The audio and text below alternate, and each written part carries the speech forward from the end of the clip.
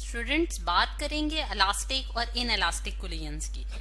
सबसे पहले अगर हम देखें स्टूडेंट्स के, अगर मैं उर्दू जबान में कुलियन को एक्सप्लेन करूँ तो कुलियन हमारे पास क्या है? टकराव। यानी कि दो चीज़ों का आपस में टकराना। ठीक है? यानी कि जिस तरह से अगर मैं यहाँ दो बॉल्स शो करती हूँ आपको कि हमारे पास अगर दो बॉल्स हैं और उनको अगर वो आपस में आके टकराती हैं तो उनके दरमियान जो है वो कुलियन जो है वो एग्जिस्ट करेगी। अब फिजिक्स में हमारे पास जो है वो दो तरह की कुलियंस एग्जिस्ट करती हैं। एक हमारे पास लास्टिक कुलियन कहलाती है, एक हमारे पास इन अलास्टिक कुलियन कहलाती है। अब इन दोनों में क्या डिफरेंस है? इस चीज़ को हमने आज देखना है। ठीक है? सबसे पहले अगर हम देखें स्टूडेंट्स कि जब हमारे पास अगर जिस तरह से यहाँ में दो बॉल शो की गई थी अगर मैं यहाँ आपको एक जिस तरह से डिफरेंट कलर से बॉल शो कर देती हूँ पर्पल कर लेते हैं और एक को हम ग्रीन कर देते हैं, चलें। ठीक है? ये इस तरह से होगी। अब अगर हम देखें स्टूडेंट्स की यहाँ हमारे पास ये जो बॉल थी, इसका मैथ m1 था, इसका मैथ m2 है और ये इनकी जो वेलोसिटीज हैं वो v1 और v2 से रिप्रेजेंट कर दी गई हैं।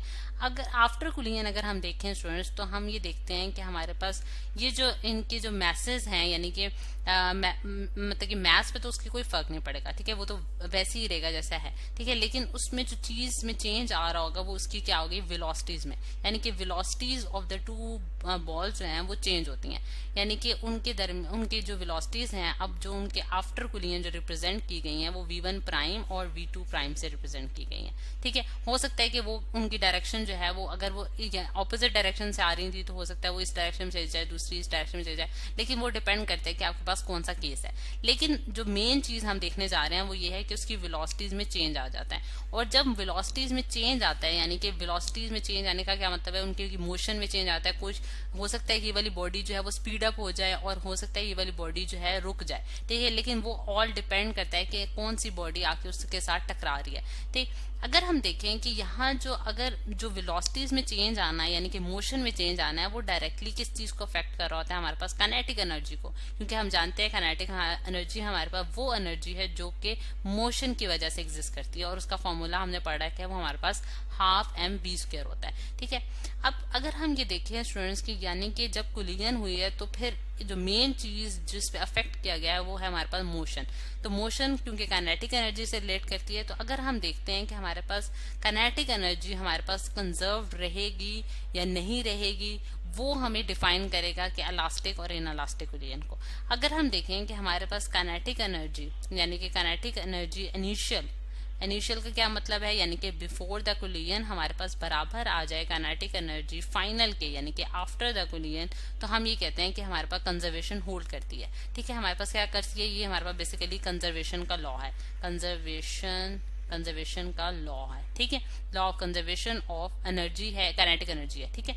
लेकिन अगर हमारे पास ये law of conservation of kinetic energy अगर होल्ड ना करें, यानी कि इनिशियल कैनेटिक एनर्जी बराबर ना आए फाइनल कैनेटिक एनर्जी के तो हम ऐसे केसेस को क्या कहते हैं कि ये हमारे पास इन अलास्टिक कुलियन हुई है। यानी कि अगर ऐसी कुलियन हो जिसमें हमारे पास इनिशियल कैनेटिक एनर्जी जो है, वो फाइनल कैनेटिक एनर्जी के बराबर ना आ सके तो ऐसे केसेस को हम क्या कहते हैं? स्टूडेंट्स इन अलास्टिक कुलियन और अगर ये बराबर आ जाए तो हम कहते हैं अलास्टिक कुलियन अब इसकी एग्ज़ाम्पल किस तरह से हम देखते हैं कि अगर जिस तरह से मैं आपको एक फिगर दिखाती हूँ कि ये हमारे पास इन अलास्टिक कुलियन को शो कर रहा है, कि एक बॉल है, ठीक है, उसको जब डाउनवर्ड डायरेक्शन में जो है उसको बाउंस मतलब कि उसको नीचे गिराया गया डाउनवर्ड डायरेक्शन में तो आपने देखा कि जैसे ही वो नीचे जाके ग्राउंड को हिट करती है यानी कि अब इस टाइम पे हमारे पास बॉल और ग्राउंड के दरमियान कुलियन का प्रोसेस जो है वो टेक प्लेस कर रहा है। जब वो बॉल जो हिट करेगी ग्राउंड को तो वो बाउंसेस लेगी।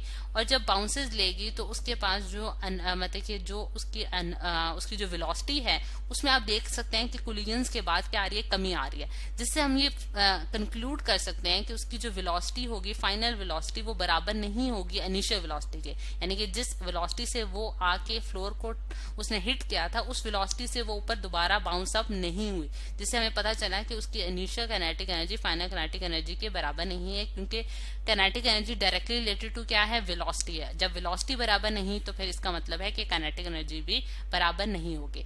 अब स्टूडेंट्स आपके दिमाग में ये सवाल आता होगा कि कनेटिक एनर्जी को मतलब कि या फिर वेलोसिटी को जो है वो कौन सी ऐसी चीज़ें हैं जो अफेक्ट करती हैं ड्यूरिंग द कुलियन ठीक है? तो उसका उसका सवाल हमारे, उसका जो सवाल मतलब कि इस सवाल का जो जवाब है स्टूडेंट्स वो ये है कि हमारे पास फ्रिक्शनल फोर्सेस का जो कॉन्सेप्ट है वो एग्जिस्ट करता है। यानी कि फ्रिक्शन जो है वो दो चीज़ों के दरमियान जब दो चीज़ें आपस में टकराती हैं तो उनके दरमियान भी सरफेस सरफेस फ्रिक्शन भी एग्जिस्ट करती है। उसके अलावा हमारे पास एयर फ्रिक्शन भी एग्जिस्ट करती है।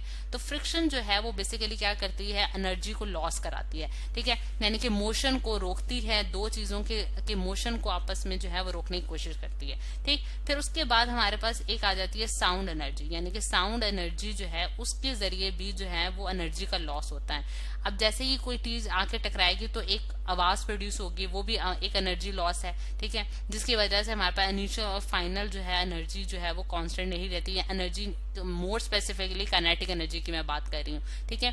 और उसके बाद जो है, उसके बाद जो है हमारे पास हीट एनर्जी की फॉर्म हीट एनर्जी में भी हमारे पास जो है वो कनेटिक एनर्जी का लॉस हो जाता है, ठीक है? जो कि उसकी मोशन को जो है वो रोकती है, ठीक है? अब अगर हम देखें तो ये फ्रिक्शन साउंड एनर्जी और हीट एनर्जी जो है वो बेसिक लॉसेज हैं, जिसकी वजह से हमारे पास कनेटिक एनर्जी जो है वो कंजर्व नहीं रह सकती।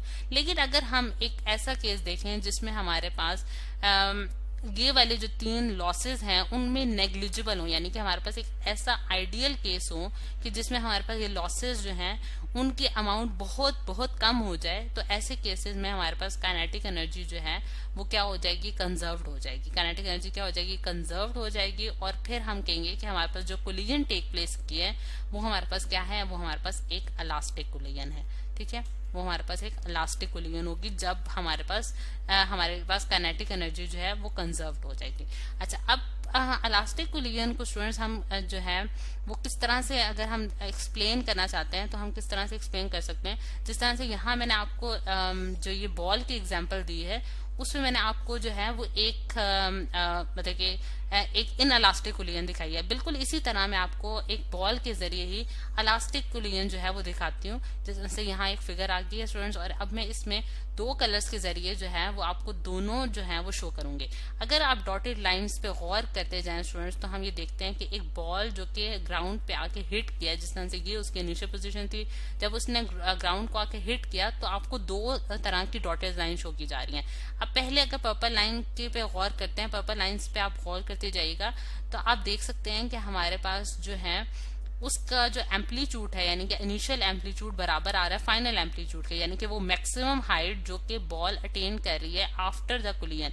तो आप देख सकते हैं कि सारी पर्पल लाइन्स ये शो कर हैं कि उस जो एम्पलीट्यूड है, वो ऑलमोस्ट जो है, वो सेम रहा है। उसमें कोई कमी नहीं आई, जिससे हमें ये पता चला कि उसकी जो मतलब कि उसके पास जो इनिशियल एनर्जी कैनेटिक एनर्जी थी, जो इनिशियल कैनेटिक एनर्जी थी, वो बराबर है फाइनल कैनेटिक एनर्जी के। वो उसी उसी एम्पलीट्यूड के साथ जो है, वो रीबाउंस भी कर रही है। यानी कि कुलियन के बाद भी उसका जो रीबाउंस था वो उसी तरह, उसी एम्पलीट्यूड का है, ठीक है? और दूसरे, दूसरा जो कलर मैं शो करने जा रही हूँ, जिस तरह से अगर मैं इसको डार्क कलर से शो कर देती हूँ ग्रीन कलर से, दूसरा अगर दूसरी लाइन अगर ये डॉटेड लाइन शो करूँ तो आप देख सकते हैं कि उसके एम्पलीट्यूड में क्या आ रहा है डिक्रीज आता जा रहा है, जिससे हमें ये पता चलता है कि ये कौन सी होगी इन अलास्टिक क्लियन जो कि ग्रीन कलर से शो की जा रही है, जब उसके एम्पलीट्यूड में क्या आ गया डिक्रीज आ गया, ठीक है? उसका रीबाउंस जो है वो बहुत ही कम होता जा रहा है, जैसा कि हमने इस फिगर में भी ये चीज़ देखी थी। ठीक? तो ये जो केसेस हैं, यानी कि अलास्टिक कुलियन के केसेस भी हमारी मतलब कि लाइफ में एग्जिस्ट करते हैं, जिस तरह से अगर कोई मार्बल का हमारा मार्बल बॉल जो है मार्बल की अगर कोई बॉल हो, ठीक है, और वो ग्राउंड को हिट करे, ठीक है तो उस केस में हमारे पास क्या होगा कि क्योंकि उस, वो जो है वो उसी एम्पलीट्यूड के साथ जो है रीबाउंस कर सकती है। मतलब उसमें उसमें आ, उसकी जो रीबाउंसिंग है वो मतलब कि हो सकता है कि वो अगर ये वाले लॉसेस उसमें कम हो तो फिर वो जो है वो इलास्टिक कुलियन होल्ड करा जाए। इसके अलावा जो है रबर्ट्स की बॉल मतलब कि हम देख सकते हैं कि इलास्टिक कुलियन बहुत कम होती है बहुत आइडियल केसेस में होती है लेकिन इस तरह से हम इलास्टिक कुलियन और इन इलास्टिक कुलियन को डिफ्रेंशिएट करते हैं। तो ये है बेसिक स्टूडेंट्स हमारे पास कॉन्सेप्ट जो कि इलास्टिक और इन इलास्टिक कुलियन का हमने देखा है। लेकिन इन सारे केसेस में, यानी कि जो भी हमने डिस्कस किए हैं, उन सारे केसेस में हमारे पास जो एनर्जी है, यानी कि टोटल एनर्जी की बात कर रही हूँ टोटल एनर्जी जो है वो ऑलवेज रिमेन कॉन्स्टेंट रहेगी और मोमेंटम जो है टोटल मोमेंटम जो है ऑफ़ द सिस्टम वो भी हमारे पास जो है, वो हमेशा कंजर्व रहेगा। इन दोनों में कंजर्वेशन जो है, वो होल्ड करती है, लेकिन काइनेटिक एनर्जी में कंजर्वेशन जो है, वो डिपेंड करती है कि वो अलास्टिक है या फिर इन अलास्टिक